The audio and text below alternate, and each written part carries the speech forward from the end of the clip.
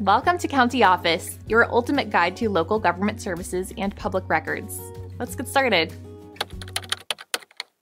How big does an egress window have to be? Egress windows are crucial for safety in basements and bedrooms. They provide an emergency exit and allow natural light. Building codes dictate their size for safety compliance. The minimum dimensions for an egress window often include a clear opening of at least 5.7 square feet. This measurement ensures that individuals can escape quickly during emergencies. Height requirements typically specify at least 24 inches from the finished floor to the bottom of the window. This height allows for easy access during an emergency. Width is also essential. Many codes require a minimum width of 20 inches, this width ensures that a person can fit through the opening without obstruction.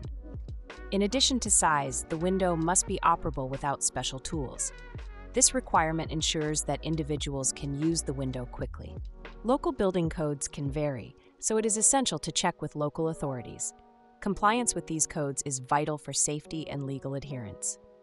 In summary, egress windows must meet specific size and accessibility requirements to ensure safety in emergencies. Always consult local building codes for precise regulations.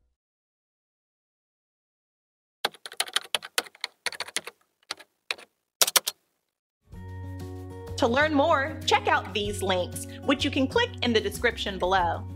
And feel free to comment your questions. We're here to help. Thanks for tuning in to our video. Please like and subscribe and leave a comment below. See you in the next video.